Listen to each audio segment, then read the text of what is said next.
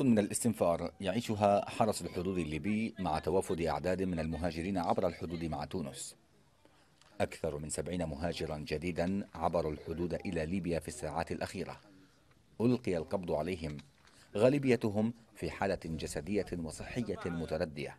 منهم علي المهاجر السوداني الذي كان يتطلع إلى الحصول على حق اللجوء في إحدى الدول الأوروبية. يجيبوك ينزلوك في الحدود. ما يعطوك ولا شيشة موية ساي. هل عندك ياخذوه منك؟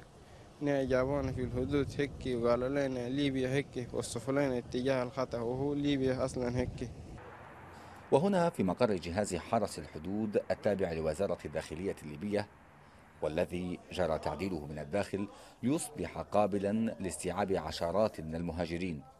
يزور أفراد جهاز طب الطوارئ والدعم التابع لوزارة الصحة الليبية هؤلاء المهاجرين لتقديم المساعدة الطبية اللازمة. هناك الكثير يحتاجون إلى آه، مستشفيات لوضعهم الصحي وبالأخص النساء الحوامل.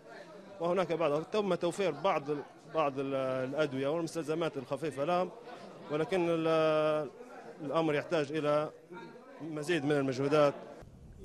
وتواجه ليبيا صعوبة في استيعاب أعداد المهاجرين. وتغطي احتياجاتهم بتبرعات المنظمات والجمعيات الخيرية والجهود الفردية. هي أزمة مستمرة يبدو أن لا حل لها في المنظور القريب وتتطلب برأي مراقبين تدخلا جديا على مستوى حكومتي البلدين وترحيلا فوريا ومنظما للمهاجرين من الجانبين. إبراهيم العبدلي العربي من منطقة العسة الحدودية بين ليبيا وتونس.